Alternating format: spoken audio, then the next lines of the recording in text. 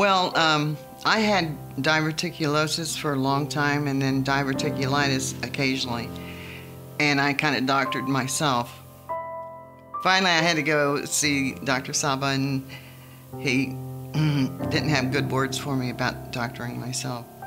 And we scheduled the surgery. I had a uh, surgery about 25 to 30 years ago.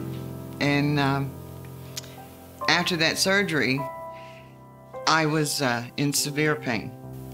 And they wanted me to get up and walk. And I gave them a little bit of trouble because it hurt so bad.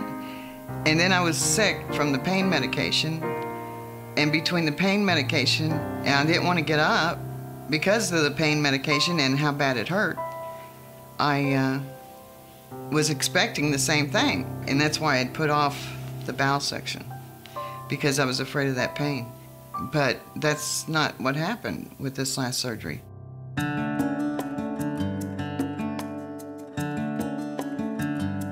With the ON-Q, I think I was able to get up out of the bed sooner.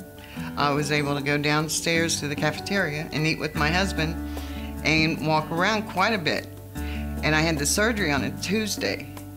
And with the ON-Q, I think I was able to go home on Thursday because I didn't have as much pain and I wasn't sick.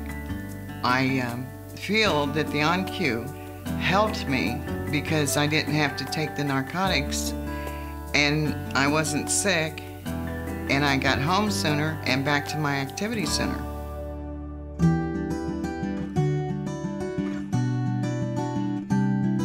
Right now I'm one month post-op and I can do anything I want. I can exercise, I can walk, I can uh, eat anything, and uh, there's nothing I can't do.